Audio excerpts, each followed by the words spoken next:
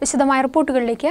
ജനവാസ കേന്ദ്രങ്ങളെ വനമാക്കി മാറ്റാനുള്ള വനംവകുപ്പിന്റെയും സംസ്ഥാന സർക്കാരിന്റെയും നീക്കത്തിനെതിരെ യു ഡി എഫിന്റെ നേതൃത്വത്തിൽ ഇരുപത്തിനാല് മണിക്കൂർ രാപ്പകൽ സമരം സംഘടിപ്പിച്ചു.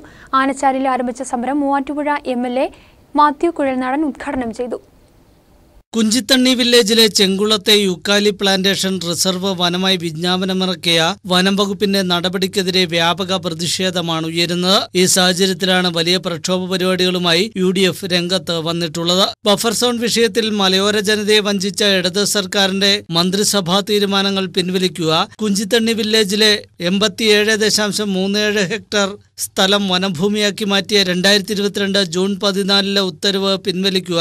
ആയിരത്തി തൊള്ളായിരത്തി ആയിരത്തി തൊള്ളായിരത്തി തൊണ്ണൂറ്റി മൂന്നിലെയും ഭൂവധിവ നിയമങ്ങൾ ഭേദഗതി ചെയ്യുക നിർമ്മാണ നിരോധന ഉത്തരവ് പിൻവലിക്കുക തുടങ്ങിയ ആവശ്യങ്ങൾ ഉന്നയിച്ച് യു ഡി എഫ് ദേവികുളം നിയോജകമണ്ഡലം കമ്മിറ്റി ആനച്ചാലിൽ ഇരുപത്തിനാല് മണിക്കൂർ രാപ്പകൽ സമരമാണ് ആരംഭിച്ചിരിക്കുന്നത്. സമരം Muvattupuzha M L A Mathew Kuzhalnadan ഉദ്ഘാടനം ചെയ്തു.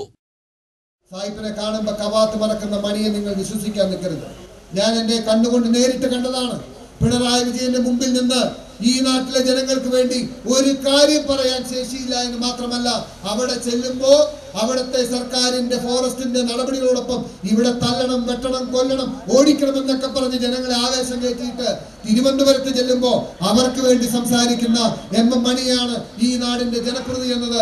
അപമാനകരമായ കാര്യമാണ് എന്ന് സൂചിപ്പിച്ചുകൊണ്ട് ഈ രാപ്പകൽ സമരത്തിന് എല്ലാവിധ അഭിവാദ്യങ്ങളും നന്ദിയും യു ഡി എഫ് നിയോജകമണ്ഡലം ചെയർമാൻ എം ബി സൈനുദ്ദീൻ അധ്യക്ഷത വഹിച്ച ഉദ്ഘാടന യോഗത്തിൽ D C C president C P Mathew Roy K Paulose Francis George S Ashokan E M Agasthy professor M J Jacob U D F നിയോജകമണ്ഡലം convener O R Sasi George Thomas നേതാക്കന്മാരായ Varghese Vettiyankal A P Usman P V Scaria Babu Keecheri K A Kurian Jayan P C Basheer P A K P Aziz K K Babu തുടങ്ങിയവർ പങ്കെടുത്തു. ഞായറാഴ്ച ഉച്ചകഴിഞ്ഞ് മൂന്നിന് നടക്കുന്ന സമാപന സമ്മേളനം Idukki M P advocate Dean Kuriakose ഉദ്ഘാടനം ചെയ്യും.